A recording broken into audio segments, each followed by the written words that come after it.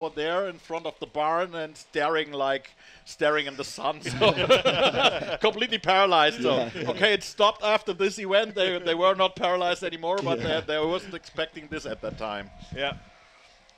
So yeah, Yeah, back to serious business. Mm-hmm.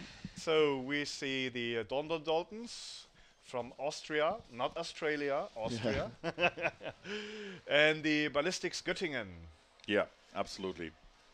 So uh, and the next pair uh, will be Merck's 89ers and uh, was Cologne Hurricanes, which should be a pretty pretty interesting game. I think that'll be really good. Yeah, yeah. Uh, that would be question. really good. Uh, Mike is uh, kind of a Ja, ja, ja, ja, it's okay. Ah, okay. We will dis äh, Disco Mike zurück in fünf Minuten. Der braucht noch eine Sportzigarette. äh, eine, eine Extremsportzigarette, hast du gesagt, ne? Extremsportler. Eine Extremsport-Mike-Zigarette. Eine Extremsport-Zigarette.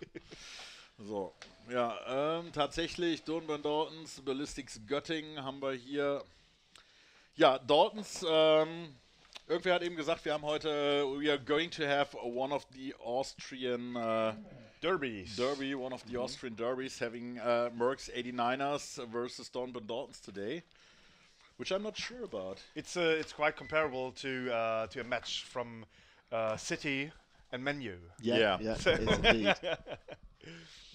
Who's regular the uh, the winner of those uh, those matches? Oh, I know nothing about football. Yeah. Nothing. Right answer to Yeah. me. yeah, pretty, pretty much the same for every paintballer. If you're so deep into paintball, you don't have, to Yeah. have the time to focus on any other sport. Hey, fuck! What? What do you want from me? I don't have time for that So, shit. so No, I- I- if I know anything about UK football or UK soccer, it's like it's not about the game; it's fucking religion over yeah, there. Oh, sorry it for is, rude language. sorry for rude language. It's, people are crazy about it. I think I'm the odd one out there. A lot of people in paintball are crazy about paintball. yeah. Yeah. Uh, sorry, about football. But at least, yeah. at least, so- you soccer, need to be like that. Yeah. Otherwise, you can't reach the top.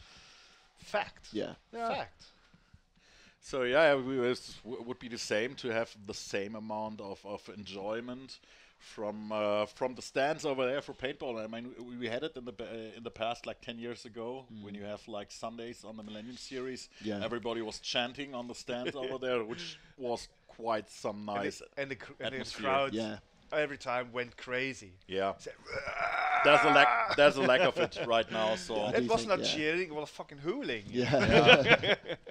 yeah, everyone. Uh, it's it's kind of manners which you need over there, which, Yeah. was always uh, enjoyable. So and yeah, there's no German uh, no German event at the moment for No. the NXL. Unfortunately, maybe uh, there will be some next year. yeah. hopefully. It's, uh, it's hard. It's hard discussed as far uh, discussed uh, as far as I know. okay, yeah, yeah. What do you know? uh, I know my coffee is getting cold. yeah. I So think uh, this, it's the same with the London event. There's no London event either, and I think Yeah. that's something they should bring back. A German and a London event Yeah. were like the mainstays of European paintball. to be Yeah. to be fair enough, um, the German event was uh, pretty much uh, far away from bigger city, which is uh, kind of a small weak point. But at Yeah. least, at least you had everybody together in one spot on Yeah. one place. And there was no need. and it there was enough always the hotel room for strongest everybody. event since Yeah. Exactly. It, it was always the Yeah. strongest event, The- not just for the German The team. So infrastructure there was unbeatable. and the city was welcoming for paintballers, which is quite unusual for for Germany. Yes. So And, what do we uh, have over here? Um, Dalton. The Daltons. The uh, Toner, Toner is leaving the field. Toner's is leaving the field. after the G. Yeah, because of bad hair day or stuff like this.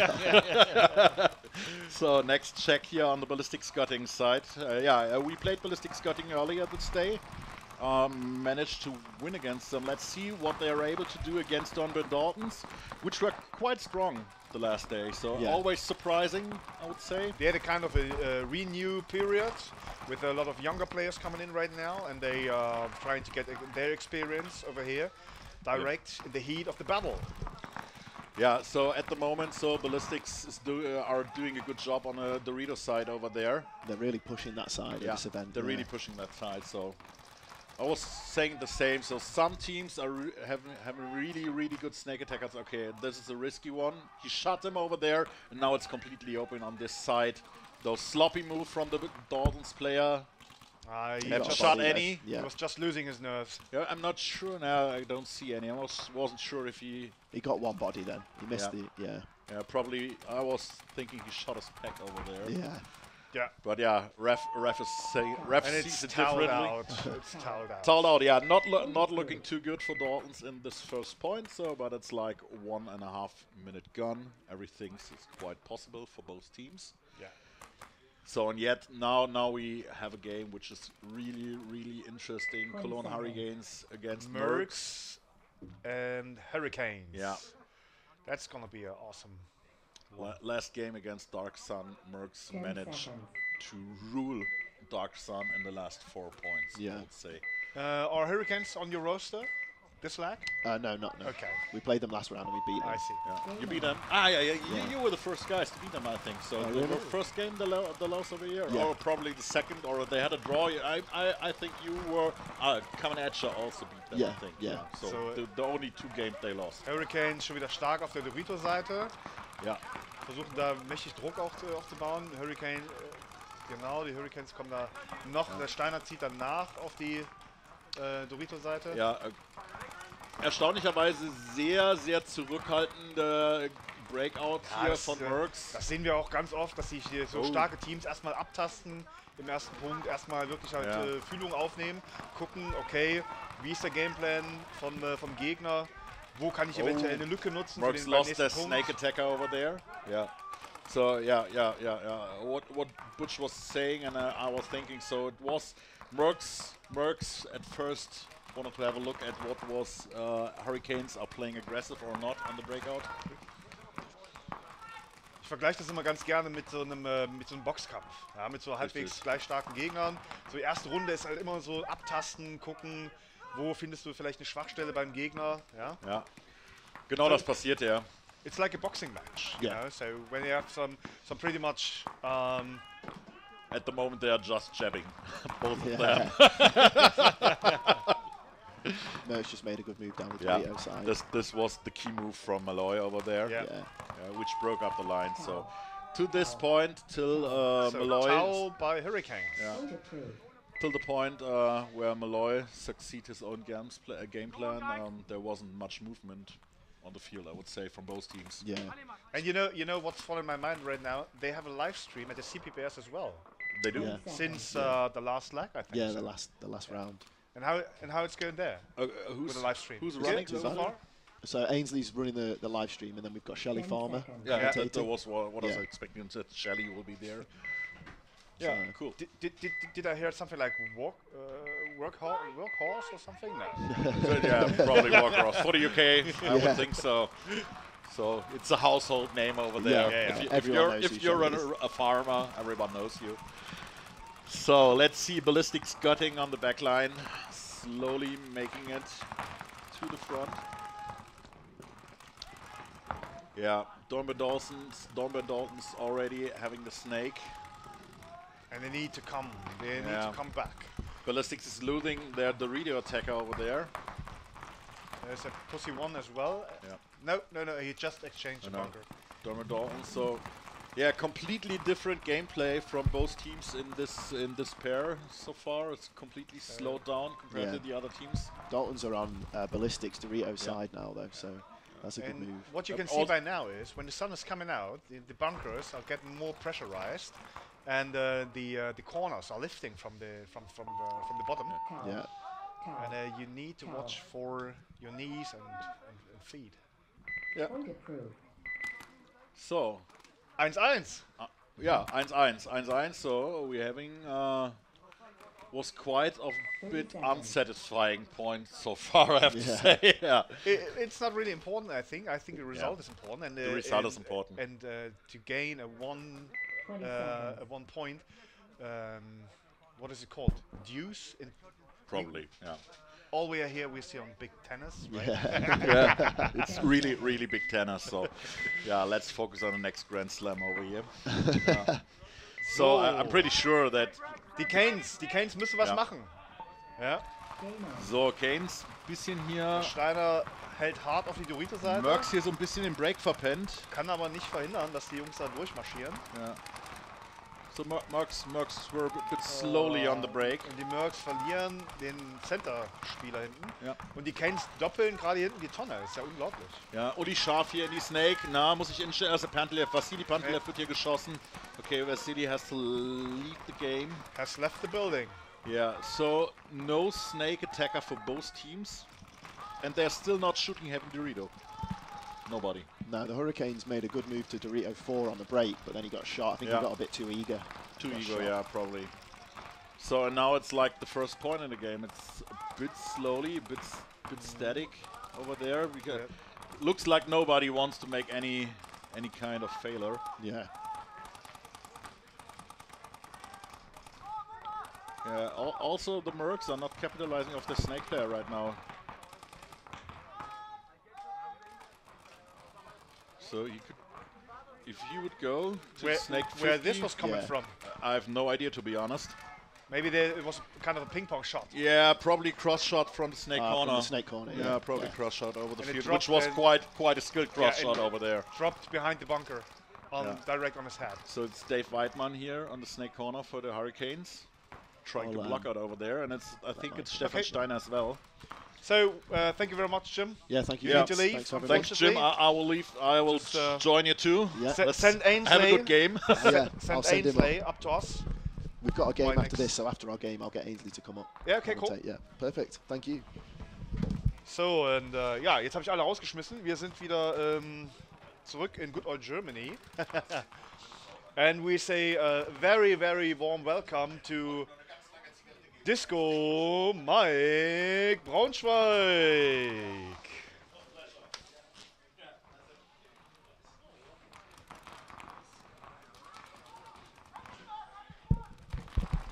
So, du bist einsatzbereit.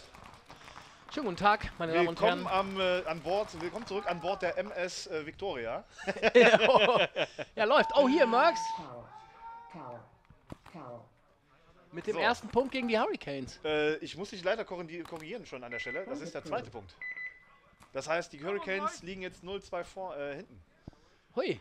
Keiner hätte damit Wie, gerechnet. we- weiß, hast du noch im Kopf, wie ist nochmal das Spiel ausgegangen? Der Merks gegen äh, die Dark Sun Jungs. Äh, 0 zu 4. Also äh, 4 zu 0 Seconds. in dem Falle. Die Mercs haben gewonnen. Äh, Nein, das ist niemals 4-0, weil die, ich hatte ah, Dark nee, Sun stimmt. hatte Punkte. Das war. wie? Wie? Wie? Die Jury? Oh, 6 die Mercs haben 2. aber doch noch durchgerudert, du hast recht. Welches? Dann war das äh, das Breakout-Spiel, was 4-0 gew- äh, gelaufen ist. Ja, So. Dolber Daltons gegen die Ballistics. zweiter Versuch. Erstes Spiel war gegen die Cologne Hurricanes und Ja. da sind die so übel und schnell auch äh, sterben gegangen, die Daltons. Ja. Und das ist jetzt nicht mal als Diss gemeint. Die Hurricanes sind halt auch stark, auch wenn die jetzt Ja, gerade am struggeln sind gegen die. Aber Und wie gesagt, wir, wir hatten es mit Micha vorhin schon. Äh, das ist, glaube ich, auf dem Niveau, wo wir uns hier befinden in der ersten Bundesliga. Halt kannst du äh, fast jedes Team äh, nehmen, wie es ist. Die schießen alle gut. ja, aber du hast auch gut. hier noch wieder zwei, drei, wo halt sehr viele Gutschießer dabei sind. Ne? Ach, sehr gut Schießer. Sehr Gutschießer. ja, es gibt ja Gutschießer und sehr Gutschießer. I know, I know the difference. So, äh, und du als völlig Unbeteiligter in Sachen Führerschein, wie war äh, für dich das Match? Braindead? Äh, ich kann dir sagen, wie das ist. Wir haben trainiert letzte Woche und ich mache das ja jetzt auch schon ein paar Mo Tage Mo länger. Moment mal, ihr habt trainiert. Ja, ja, sorry, aber wir haben tatsächlich trainiert. Also Leute hier draußen, ihr habt alle gehört, die Jungs trainieren wirklich. Ja, bitte. Auf jeden Fall haben wir trainiert und ich mache das ja auch schon ein paar Tage und ich habe noch nie ein Layout-Training gehabt, wo ich so unglücklich nach Hause gefahren bin, weil circa gar nichts funktioniert hat. Also ich kann sagen, wir haben circa 80.000 Kugeln übers Feld verteilt an diesem Wochenende, unser Kader. Und wir haben so, ich denke mal so zwischen 45 und 50 Punkten haben wir so gespielt und wir haben, ich glaube, vier gewonnen und einen unentschieden gespielt. Krass. Und dann sind wir wieder nach Hause gefahren. Und da war ich dann eben Aber ihr, ihr wart hoffentlich sehr, sehr bereichert, was so äh, Erfahrung anbelangt. Anscheinend. weil, weil jetzt eben in dem Spiel gegen Roff war das ja, Ja. gefühlt, also von unten sah es immer sehr eindeutig aus eigentlich. Bis auf, äh, dass wir da ein, zwei ja, Punkte- ich kann dich beruhigen, von hier oben auch. Ja. und äh, da, da war ich, äh, habe ich schon extrem gefeiert. Ich habe ein bisschen Sorge gehabt um den Spieltag und mir war klar, wenn wir morgens gut starten, vielleicht können wir den Bogdan umstoßen und das war extrem wichtig. Und das war jetzt kein Diss gegen Bogdans allgemein. Ich bin beeindruckt. Also ohne Scheiße. Ich äh, kenne selber solche Tage, wo du im Prinzip nach dem Training nach Hause fährst und eigentlich nicht weißt, womit sollst du in die nächsten, äh, am nächsten Spieltag in die Begegnung gehen. Ja? Und dann äh, ziehst du einfach halt was aus dem, aus dem Hut raus und es funktioniert. Und es scheint bei euch genau der Fall gewesen zu sein. Ja, manchmal ist das so, ne? Man sagt ja, es gibt ja immer dieses, womit sich immer alle gerne retten, so, wer miese Generalprobe, so, dann läuft's Ja, ja, richtig. Ist äh, natürlich woran ein hat das Anker. Gelegen, ja? Woran hat das gelegen? Ja, das fragt wo- man sich ja immer. Ja, ja. Woran hat das gelegen? Das fragt Ja? man sich ja immer. Ich weiß gar nicht, warum die Oh, Hurricanes. Hurricanes haben hier noch einen Sack voll Strafen kassiert und gehen jetzt richtig unter. Das heißt 3-0 führen jetzt die Mercs mittlerweile. Und äh, das wird hier eigentlich unrettbar. Das, äh, also vielleicht bin lehne ich mich da auch zu weit aus dem Fenster, aber in 0-3 gegen die Mercs in 5 Minuten 35 aufzuholen. ja, du brauchst ja, die Zeit ist ja, die ne, 5 Minuten 30 ist ja endlos eigentlich. Bei drei Das ist Punkten. noch eine ganze Eiszeit. Das sind ja mindestens noch 6 Punkte. Ja. Aber du musst jetzt den Bock umstoßen, ne? Also du musst jetzt irgendwie einmal. ja, du musst jetzt halt einfach mal da äh, komplett durch die äh, Box durcheskalieren Ja. und äh, die Leute mal wach machen. Ja. Du musst was machen. Es geht halt immer extrem schnell und das ist das, was die Mercs hier gerade extrem, äh, also wirklich gut gemacht haben. Halt gar keine Lücke äh, lassen, immer direkt gehen, direkt wieder einen vor.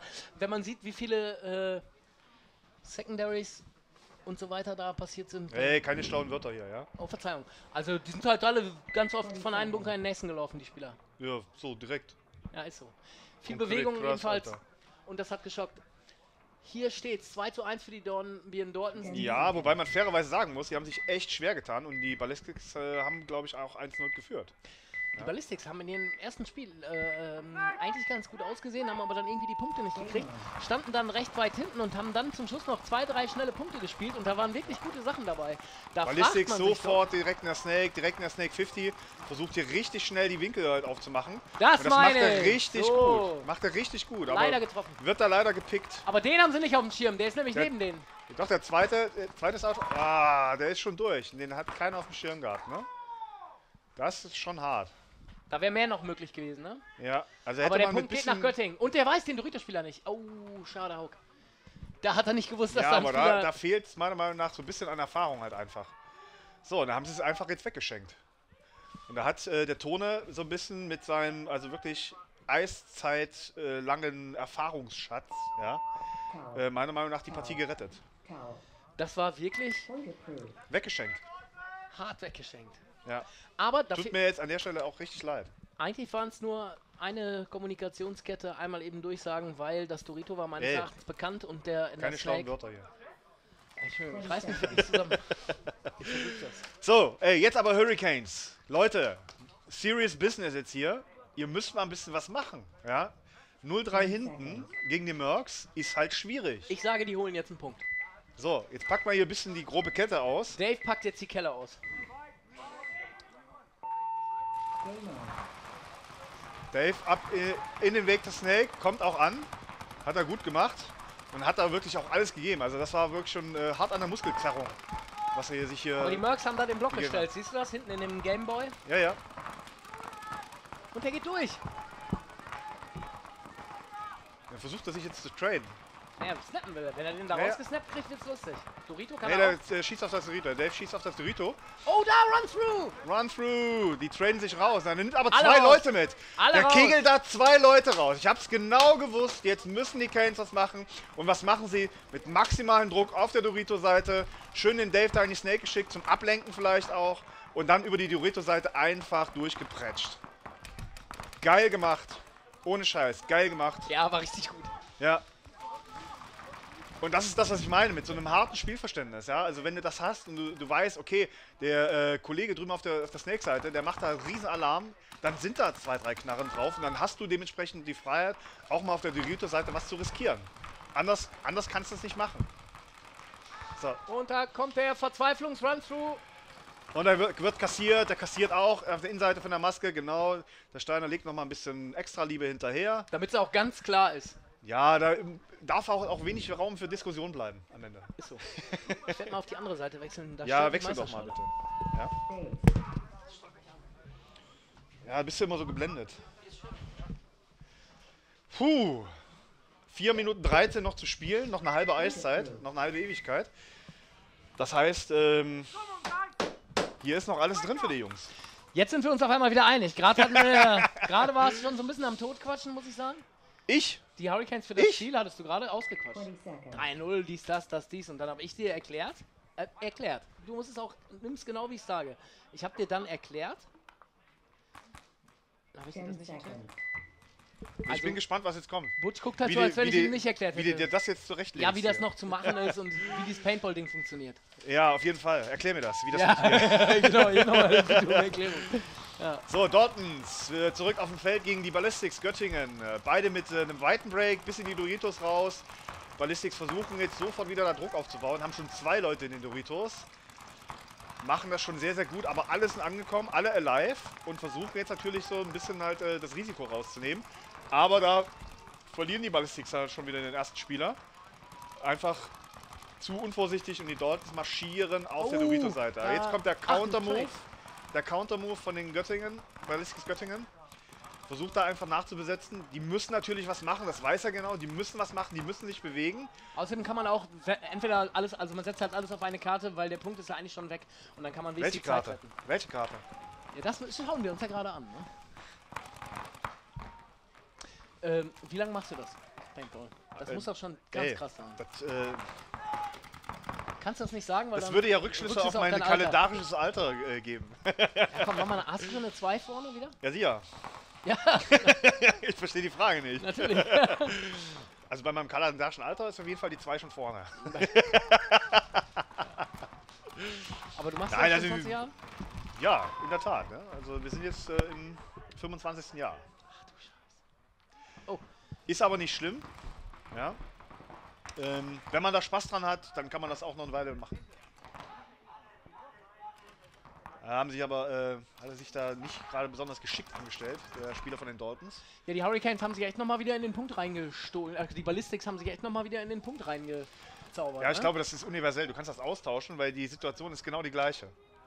Hurricanes haben hinten gelegen, die Ballistics haben hinten gelegen Ja. ja. und die beide haben jetzt noch mal einen Anschluss, oder die Chance zumindest auf einen Anschlusstreffer, beziehungsweise dann irgendwann auch mal auf einen Ausgleich. Ja, wenn ich darüber nachdenke, ey, 25 Jahre, kannst du keinem erzählen. Hast ja gerade. Und zwar ganz schön vielen. Ich sehe gerade zwar nicht, wie viele hier online sind, aber divers. Ist auch nicht schlimm.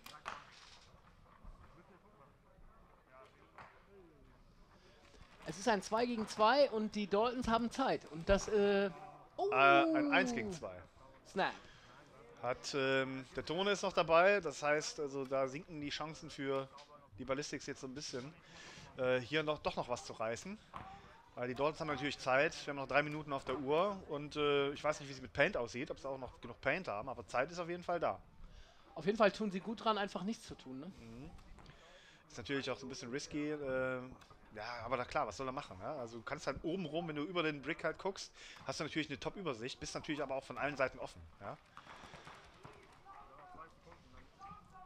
So, und da hört, hört man den Ton schon im Hintergrund, ne? langsam, er soll langsam machen. Natürlich, kein Risiko gehen, er hat alle Zeit der Welt. Ja? Warum soll er jetzt was riskieren, wenn du 3-1 vorne legst, ja? bei einem recht guten Punkteverhältnis? Ja? Ja, oder es gehen halt beide, ne? Tone könnte ja auch einfach mitgehen, dann kann man den auch holen, aber die Zeit. Äh, mir wird die Spannung hier zu hoch. Ich gehe mal dahin, wo der Kaiser zu Fuß hingeht ja? und bin gleich wieder zurück. Bis gleich. Towel. Bis gleich! Da wird das Towel geworfen. Von den Ballistics, die Dornbirn Daltons somit mit 4 zu 1 auf dem Weg. Destrudo, wird es heute ein Gewinnspiel geben? Ja, das muss ich gleich mal klären. Ich bin gar nicht ganz sicher. Schauen wir mal. Ihr sollt auf jeden Fall weiterhin abstimmen. Im Facebook auf dpl-online.de könnt ihr jeweils für euer Team stimmen. Guck mal, das wird ja ganz schön erklärt. Entweder wird mit Herzchen oder mit 10 Wow kommentiert und da könnt ihr für euren Favoriten jeweils für jede Begegnung einmal abstimmen. Wir blenden dann regelmäßig das Ergebnis ein. Hier unten steht es gerade, die Ballistics sind mit 67% hier im Voting der Zuschauer vorne. Und mit Flanken können die das noch nicht bestätigen. 4 zu 1. Jetzt geht es weiter hier bei Mercs gegen die Hurricanes. Das steht nicht 4-0. Ist was mit dem Spielstand nicht in Ordnung. Was da eingeblendet ist, stimmt nicht. Es steht wohl 3 zu 1. Aber die Mercs jetzt wieder ganz stabil. Werden jetzt wohl auf 4 zu 1 erhöhen, wie das aussieht. Der Dave ist noch in der Snake, die Doritos auch geladen für die Hurricanes. Einer noch hinten in der Backline in dem Cake, der da versucht, die Dorito-Seite ähm, über Cross-Spielen vom Vorgehen abzuhalten. Da geht der nächste Merc-Spieler. Jetzt haben wir ein 2 gegen 3. Da wird es langsam wieder interessant.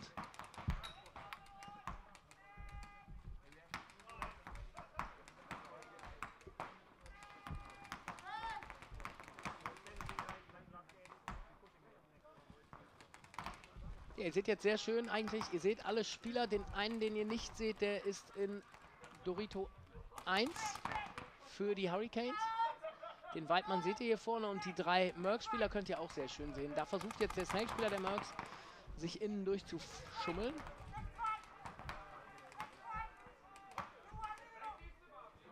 Jetzt geht Dave zurück. Eine Snake rückwärts gegangen gerade. Oh, den habe ich ja gar nicht gesehen. Der hat ja noch einen Corner. Ist das aufregend.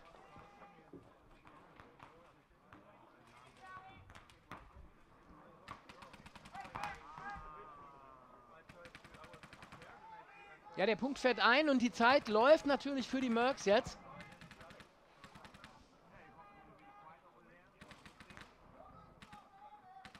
Und da gehen die Mercs vor ins T-Back der Hurricanes und da, setzt, da macht er jetzt Druck auf den Tower-Spieler auf der Snake-Seite. Der muss jetzt schon daneben sitzen, kann sich hier kaum noch verteidigen und wird jetzt...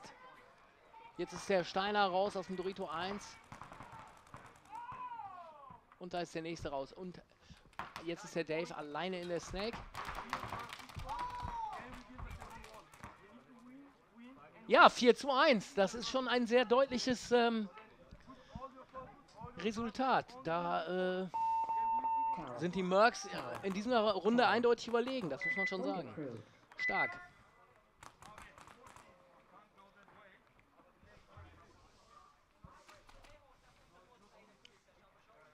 Da wird der Steiner nicht amused sein, aber zumindest ein, zwei Punkte 20 werden wir noch zu sehen kriegen. Mal schauen, ob die Jungs noch irgendwie mit schnellen Punkten sich wieder zurückbeißen können. Das gleiche müssen die Ballistics jetzt auch wieder tun. Eben ähnliche Situation. Ergebnis 10 war ähnlich. Die Ballistics daraufhin angefangen mit Hauruck Paintball durch die Mitte sich zu tanken und außen über die Segel und das hat fantastisch funktioniert. Da habe ich mich eigentlich gefragt, warum man das nicht von vornherein so anbietet, weil da sahen sie wirklich gut aus. Ihr seht jetzt einen Punkt, wo die Jungs das wieder machen. Ziemlich Attacke, direkt Dorito 3, da mit zwei Mann direkt in der Mitte vorgelaufen da. Und das klappt auch bis dahin. Auf der Snake-Seite aktuell noch kurz. Die Daltons ihrerseits auch mit fünf Spielern alive und schon in Dorito 3 mittlerweile. Die Snake geladen für die Daltons. Da haben die Ballistics derzeit noch keinen, aber der Snake-Spieler jetzt geschossen. Jetzt haben wir einen Vorteil. 5 gegen 4 für die Ballistics, die jetzt allmählich auch auf die Zeit gucken müssen. Eine Minute 46 und wenn die sich hier noch vorspielen wollen auf ein Unentschieden, dann brauchen sie noch drei Punkte und da wird die Zeit dann jetzt echt schon knapp. Da ist der nächste Spieler raus bei den Daltons. Die sind jetzt noch zu zweit, ne, zu dritt. Dorito 3 auch noch geladen. Die Ballistics ihrerseits noch 1, 2, 3. Ein T-Bag-Spieler verloren. Ei, der T-Bag-Spieler von den Daltons räumt alles ab. Hat die ganze T-Bag-Seite da blank geschossen. Und jetzt der Trade mit Haug. Ja, der Punkt geht auch nach Dornbirn. 60 seconds. Eins gegen eins Situation hier. Ist noch gar nicht zu Ende. Eins gegen eins Situation. Aber Penalty für die Ballistics. Also kann der Tone buzzern gehen.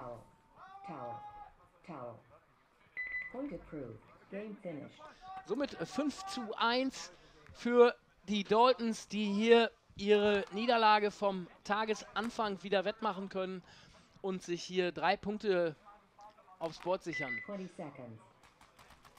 Die Ballistics starten somit ähm, nicht gut in den äh, Start und müssen die zweite Niederlage in Kauf nehmen. 10 seconds. Da muss man schauen, was haben die heute noch. Die haben heute auch wirklich schweres Programm. Die müssen nachher auch noch gegen die Lucky 15s ran. Und die müssen noch gegen... Schauen wir mal. Gegen Breakout Spa. Das sind nochmal zwei richtig schwere Spiele hinten raus. Da droht der Null-Punkte-Spieltag. Natürlich in der ersten Bundesliga auch immer schnell geht. Hier sehen wir nochmal die Hurricanes gegen die Mercs. 4 zu 1. Die Mercs haben hier deutliche Vorteile.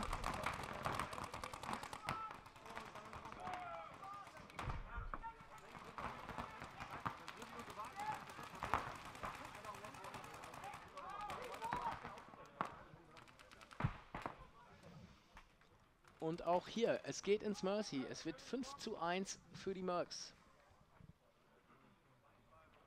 Sehr deutlich.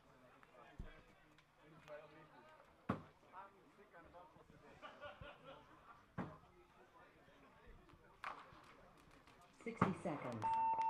Days.